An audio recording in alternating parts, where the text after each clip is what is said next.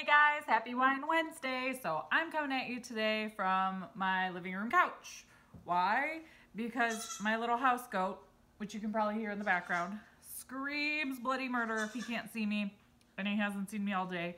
So he's extra angry about it. So I'm out here on my couch with you today with some not so great lighting. But I wanted to talk to you guys today about wine and its body. So what does it mean when wine has body? Well, every wine has some kind of body.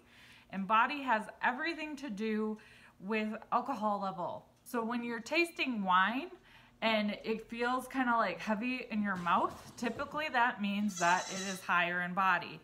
Hey, I'm trying to film here. So a higher bodied or a So you've probably heard so you've probably heard people say like, oh, this wine is very full bodied, or this is a very light bodied wine. What that means is there's a lot of booze in this, or there's probably not enough booze in this. So, reds typically are more medium to full bodied, and whites are typically more of a light body, like this one.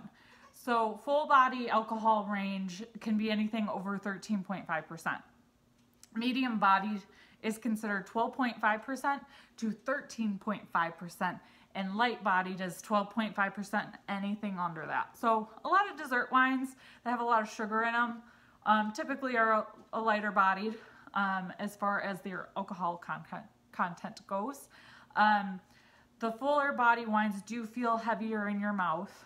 So there is something to that that can kind of give you a clue as to whether it's like a medium to full body. So the only way you can truly figure out how to tell the difference between bodies of wine is to try a lot of wine. So cheers to your journey for your wine drinking and figuring out just what it means for a wine to have body. Bye guys, cheers!